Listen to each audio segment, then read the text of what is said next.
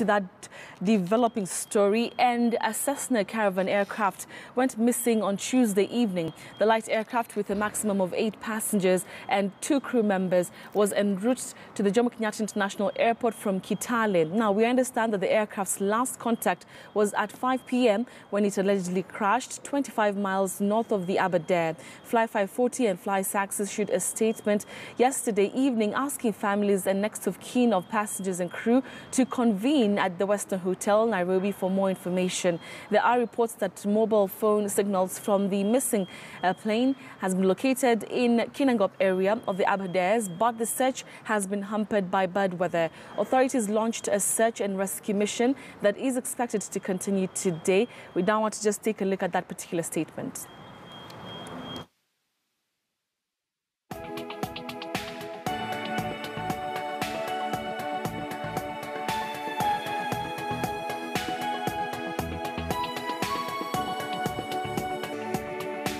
Those who uh, were on board have been asked to convene at the Weston Hotel. And uh, shortly we'll be crossing over there to Weston Hotel to speak to my colleague Julie Owino to just give us an update of what's happening there. Mm.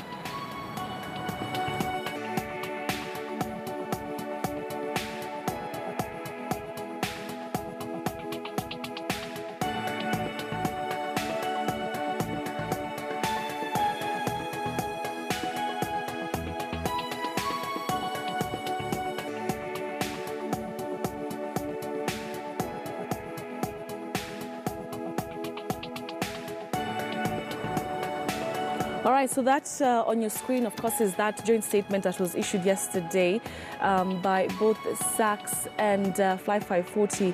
It, is, it was a joint uh, statement just detailing the information that uh, was available as per the evening with regard to that missing aircraft. Um, of course, like I mentioned, we'll be shortly crossing over to my colleague uh, Julie Owino from a Weston Hotel to give us the latest details. Remember, like I mentioned, the families um, and relatives and friends of the people who were on board uh, were yesterday asked to, uh, of course, converge at the Weston Hotel to get more details as the details and information about that missing aircraft emerges. So we'll be getting there.